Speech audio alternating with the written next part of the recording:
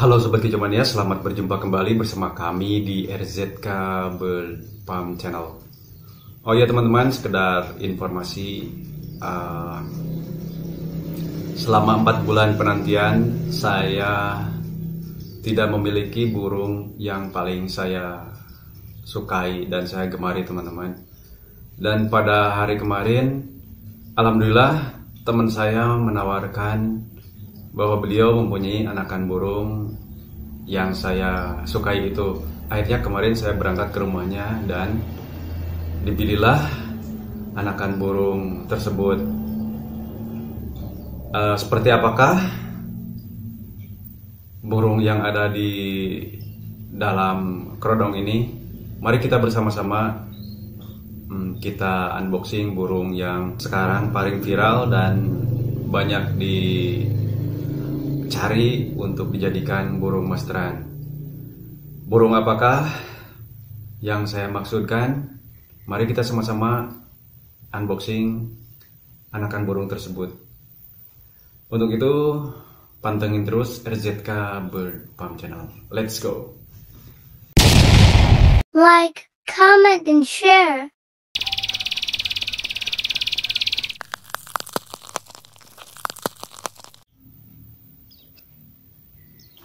Nah kita langsung saja buka uh, kerodong ini.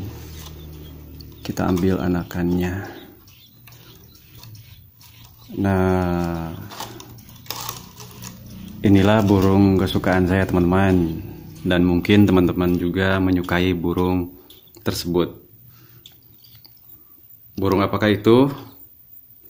Sebentar kita perdekat lagi kita ambil burungnya. Nah betul teman-teman. Anakan burung ciblek sawah. Nah anakan ciblek sawah ini isinya tiga ekor teman-teman kayaknya. Oh satu telur yang tidak menetas teman-teman. Coba kita ambil dulu nih. Nah ini nih. Aduh, aduh. kita ambil. Nah satu telur ini yang tidak menetas. Oh Oh teman-teman ini dari asalnya mungkin 4 telur indukan tapi yang berhasil menetas itu tiga ekor. Nah, kita buang saja dah yang uh, telur yang tidak menetas ini. Tapi perlu diteropong dulu mungkin isi apa kosong coba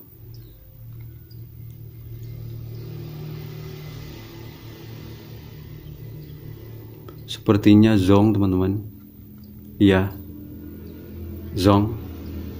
Zong telurnya, jadi kita buang saja ya.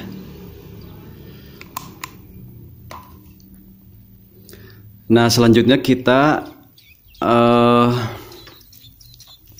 kita beri pakan dulu karena anakan ciblek sawah ini sudah lapar kelihatannya.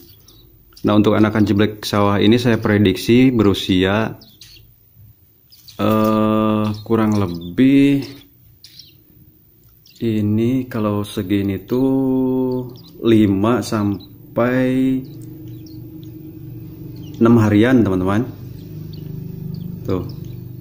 Masih kecil sebenarnya tapi kata teman saya itu karena sekarang banyak dicari. Jadi ketika kita menemukan uh, sarangnya itu harus segera diambil teman-teman. Seperti itu. Jadi siapa cepat dia yang dapat Nah, jadi kemarin saya dapatkan burung ini dengan dibeli ya cukup murah teman-teman. Kita langsung saja untuk bantu melolohkan pada ketiga anakan burung ciblek sawah ini. Nah, untuk teman-teman yang sedang merawat anakan burung ciblek sawah, terutama teman-teman pemula yang baru merawat anakan ciblek sawah, saya sarankan ketika teman-teman akan membantu melolohkan, berilah pakan harian itu dengan pemberian jangkrik teman-teman. Jadi sementara full jangkrik dulu. Nah kita bantu lolohkan dulu ya. Jadi jangkriknya itu sebelum kita lolohkan buang kepala sama itunya dulu eh, kaki-kakinya teman-teman. Jadi agar saat kita melolokkan agar tidak tersangkut dalam tenggorokan anakan ciblek sawahnya. Nah kita lolokkan ya. Nah seperti ini teman-teman. Nah biasanya ketika anakan burung ciblek sawah itu ketika kita bantu lolokkan biasanya suka langsung buang kotorannya. Kotorannya itu harus segera kita ambil dan uh, kita jauhkan dari sarang agar tidak menumpuk dalam sarang yang misalkan kita eh, biarkan akan mengundang uh, bakteri atau kuman-kuman sehingga dapat menyebabkan nantinya terganggunya kesehatan pada anakan burung ciblek sawah ini. Jadi biasakan teman-teman harus selalu bersih dari kotoran dalam sarangnya itu teman-teman ya. Nah kita ambil seperti ini. Nah, jangan biarkan menumpuk. Uh, ini harus dibuang teman-teman. Nah, kan kalau bersih itu jadi anakan ciblek sawah akan sehat kita lanjut memberikan jangkriknya pada anakan ini. Nah, alhamdulillah terlihat lahap makannya teman-teman. Oh. Mudah-mudahan ketiga anakan ini bisa bertahan hidup sampai dewasa kelak.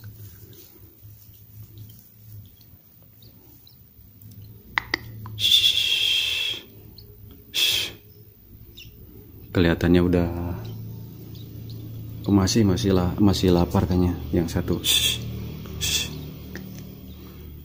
Nah untuk hariannya untuk menyimpan uh, anakan burung ciblek sawah ini kalau teman-teman biasa uh, menyimpannya itu dalam sarang sambil dihangatin dengan menggunakan bohlam 5 watt itu lebih bagus. Tapi harus di apa kasih jarak jangan terlalu dekat agar tidak kepanasan gitu anak anakannya teman-teman. Namun kalau saya pribadi tidak pernah menggunakan penghangat uh, lampu bolam itu teman-teman. Jadi kalau saya pribadi biasa me mengkerodongnya gitu teman-teman di setiap harinya.